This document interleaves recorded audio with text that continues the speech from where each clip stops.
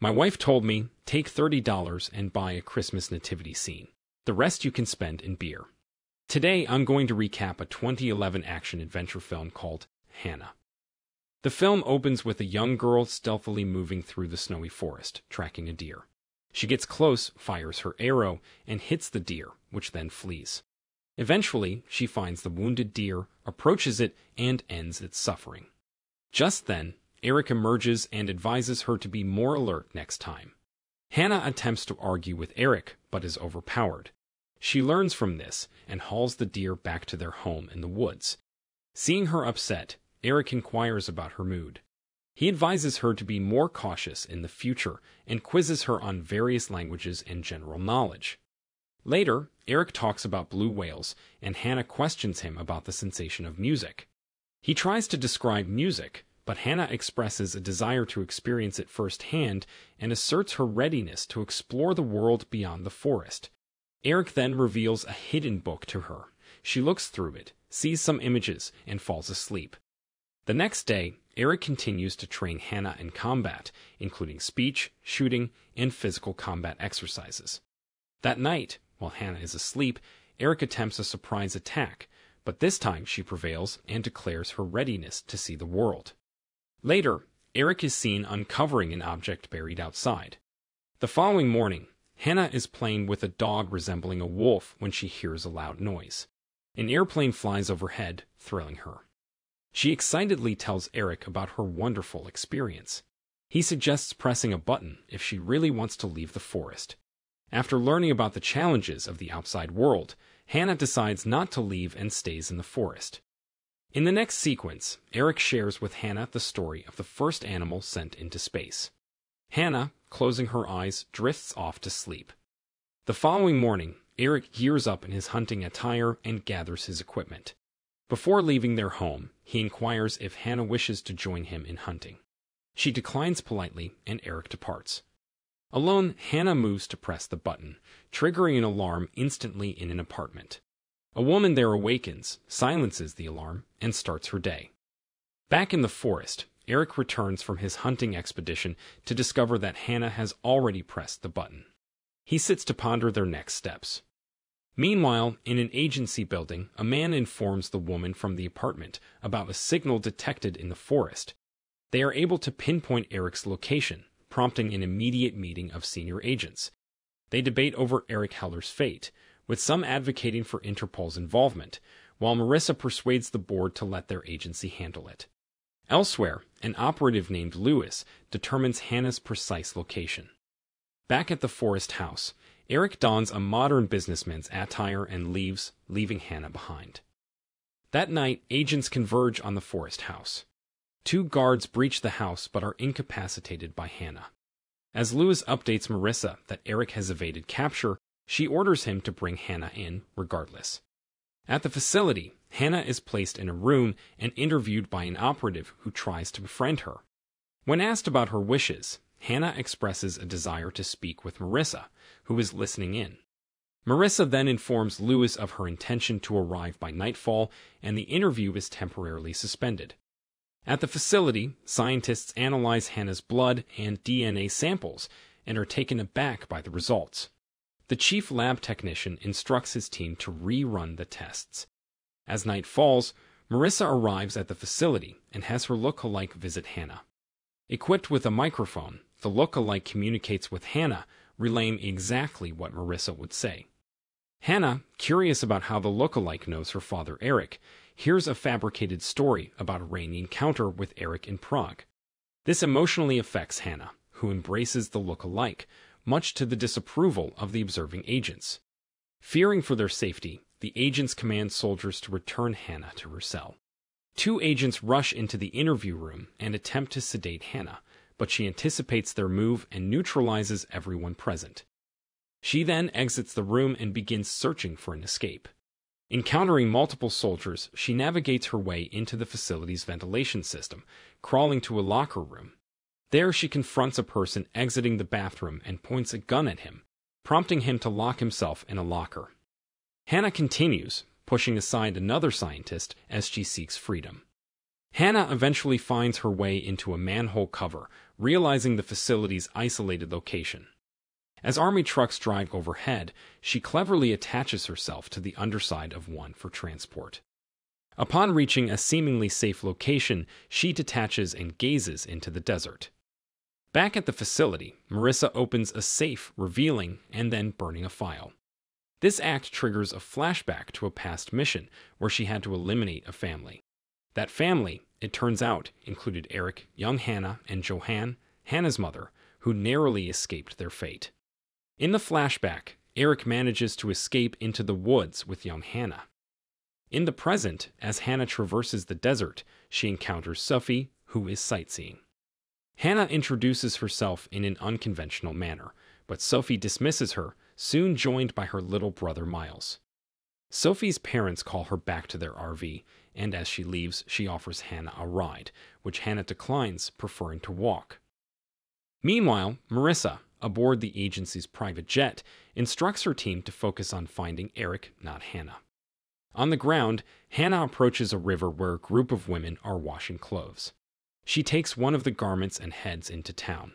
In town, she enters an elderly man's shop and communicates with him in a different language. Fascinated, she watches television in his shop, and the man allows her to spend the night. However, overwhelmed by the unfamiliar electronics, Hanna flees outside where she spots Sophie and Miles again.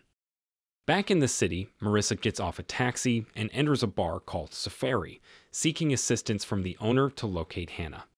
At a hotel, Hanna has dinner with Sophie and her parents.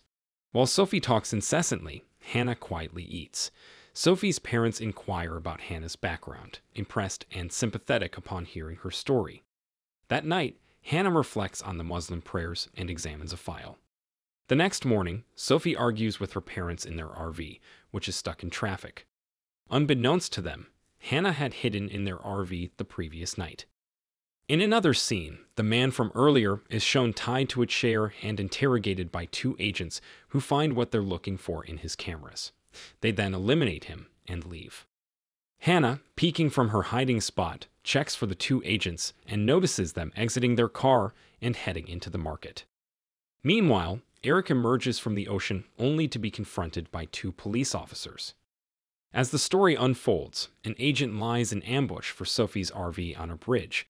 When the RV passes beneath, the agent on a bike begins to tail them. Inside the RV, Hanna observes the family enjoying themselves. Elsewhere, Marissa and Lewis are seen exhuming the bodies of the policemen that Eric had neutralized to make his escape to the city. Marissa instructs Lewis not to alert Interpol about their situation. During the night, Hanna leaves her hiding spot and heads to a pool, drinking its water. Sophie emerges from the pool and points out boys playing foosball nearby. One of the boys catches Hanna's attention and takes her for a bike ride, which she finds thrilling. After the ride, everyone gathers around a bonfire to enjoy guitar music. Following the performance, Hanna and the bike boy sit awkwardly together. When he attempts to kiss her, Hanna reacts defensively and wrestles him to the ground. Sophie intervenes, asking Hanna to release him, which she does, amicably parting ways with the boy. Meanwhile, three agents inspect the tents of campers. One of them opens a tent and encounters Miles, but they quickly move on. Sophie and Hanna dash to their tents, but Hanna pauses, sensing something amiss. In another scene, Marissa visits an elderly woman at night, conversing in their native language. The meeting concludes with Marissa attaching a silencer to her pistol and eliminating the woman. Back at the hotel, Sophie inquires about Hanna's origins. Hanna, unable to disclose her background, pleads for Sophie's understanding.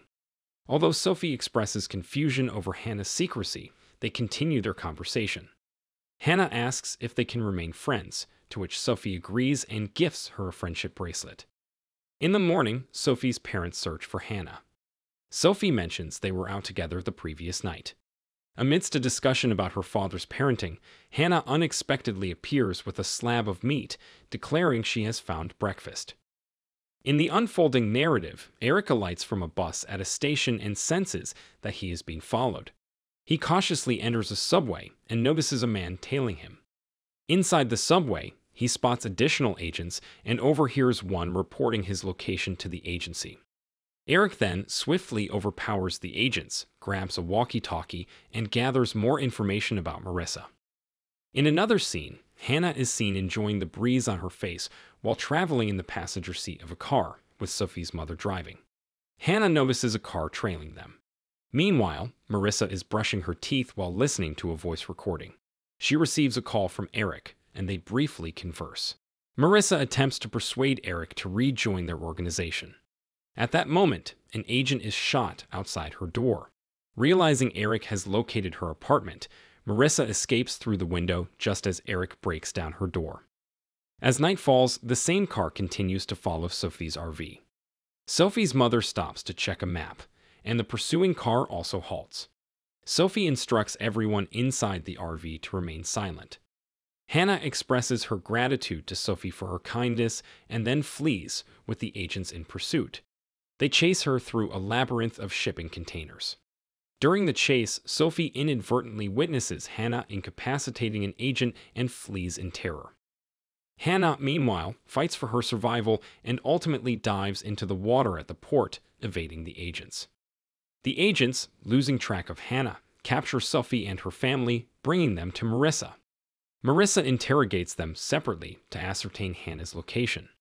In a twist, the scene shifts to show Hanna on a boat, being taken to an unknown destination. In this intense sequence at the black site, Marissa interrogates Miles, Sophie's brother, who reveals Hanna's intended destination. Hanna, having reached civilization, navigates through the streets to a forested area adorned with prehistoric animal sculptures. She finds a secluded home where a man, a friend of Eric's, warmly welcomes her. He provides Hanna with an envelope containing an address from Eric, food, and a passport, explaining she'll need a photo. Their discussion about Hanna's mother and music is interrupted when Marissa and her agents break into the residence. Hanna cleverly hides under a bed while the agents search the house, making light-hearted comments about Eric and Hanna. During the search, Marissa receives a call from her superior, reprimanding her for acting alone. Hanna uses this distraction to flee into the city, where she enters a cafe to look up information on Eric Heller. Meanwhile, Eric arrives at his friend's residence, spots the agents, and stealthily evades them. Hanna breaks into a house and confronts Eric, questioning if he is truly her father. Eric reveals the startling truth. Hanna is the result of a genetic experiment to create super soldiers. Despite this, he assures her of his love. As they attempt to leave the apartment, agents arrive and they split up to escape. Eric engages the agents in a foot chase and a fight, while Hanna escapes. However, Eric is shot by Marissa. Hanna returns to Eric's friend's house, finding it deserted, with Marissa's voice echoing in the background. Armed with an arrow, Hanna flees the building. Marissa catches up to Hanna in the woods. Despite Hanna's plea to be left alone, Marissa shoots at her, but Hanna retaliates with an arrow. Regaining consciousness, Hanna finds Marissa missing and follows her trail. She discovers Marissa attempting to escape, but as Marissa aims her gun at Hanna, she slips and falls. Hanna, seizing Marissa's gun, makes the decisive move to end Marissa's pursuit. If you enjoyed this video, don't be shy to hit the like button, and if you disliked it, hit the dislike button twice, just to be sure. It would be best if you watched the whole movie. Thank you very much for watching.